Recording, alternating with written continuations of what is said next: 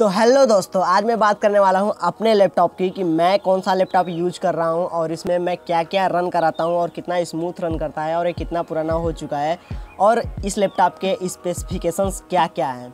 तो सबसे पहले मैं आपको बता दूँ कि ये मैंने जो है शॉप से ख़रीदा था और लगभग डेढ़ साल से ऊपर हो रहा होगा मुझे ये यूज़ करते हुए। तो मेरा ये जो लैपटॉप है, ये है एच पी का eighth generation core i five और मैं इस लैपटॉप की अगर बात करूँ तो ये काफ़ी स्लिम है और काफ़ी स्लिम के साथ साथ काफ़ी इसका वेट जो है एकदम लाइट वेट है। इसका वेट लगभग 1.6 केजी के आसपास होगा तो समझ सकते हो कितना लाइट वेट है। और इसके कुछ फीचर्स बात करें तो इसमें क्या है कि दो सौ छप्पन एसएसडी है, जो हमारा सी ड्राइव रन करता है, वो टोटली जो है एसएसडी पे रन करता है, जो कि है दो सौ और बाकी एक टी जो है, वो इसका हार्ड ड्राइव है और इसका जो रैम है, वो है आठ जीबी दोस्तों, अगर आपको एडिटिंग वगैरह करनी है, जैसे कि अगर आपको आफ्टर इफ़ेक्ट या फिर प्रीमियर प्रो वगैरह अगर आपको चलाना है वीडियो एडिट करना है तो उसके लिए ये लैपटॉप सही है, क्योंकि आपको पता होगा कि जो प्रीमियर प्रो वगैरह जितने भी एडफ के सॉफ्टवेयर आते हैं, उसको रन कराने के लिए मिनिमम रिक्वायरमेंट जो होती है, उसकी रैम की, वो आठ जी है।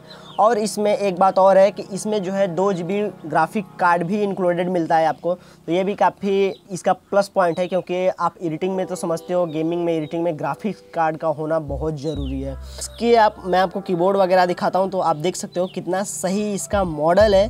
सबसे बड़ी बात है कि मुझे खूबसूरत चीज़ें ज़्यादा अच्छी लगती हैं। मैं उस पर थोड़ा सा पैसा लगा देता हूँ। और ये देखने में कितना स्लिम है और कितना खूबसूरत भी है।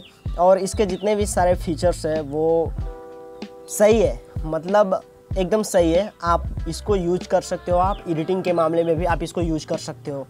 और यदि आपको नॉर्मल काम करना है तो ये आपके लिए नहीं है। इससे भी कम रेंज में आपको मिल जाएगा। आई थ्री आप ले लीजिए। और यदि आपको जैसे एडिटिंग वगैरह करना है तो एडिटिंग के लिए देखो भाई कम से कम ग्राफिक्स कार्ड होना बहुत ज़रूरी है एडिटिंग के लिए।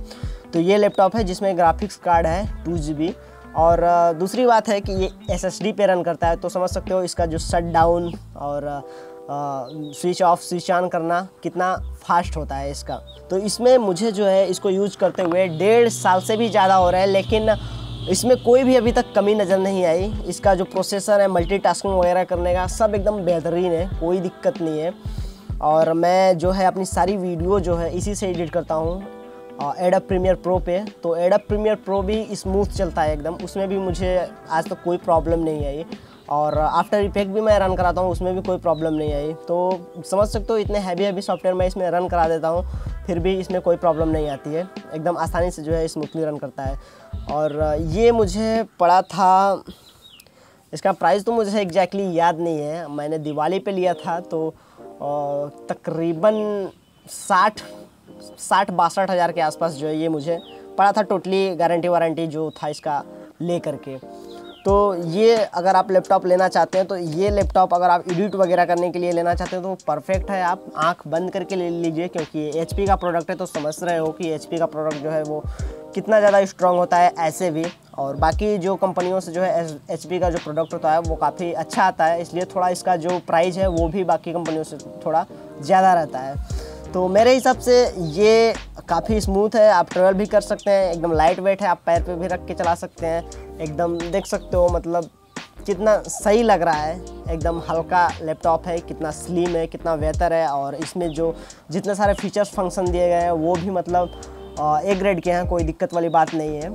तो ये था इसका इसका डिस्प्ले भी जो है फुल एचडी है। फुल एच में आपको 1920 तक का पिक्सल का इसमें आपको डिस्प्ले इंक्लूडेड मिलता है। और यही सब है।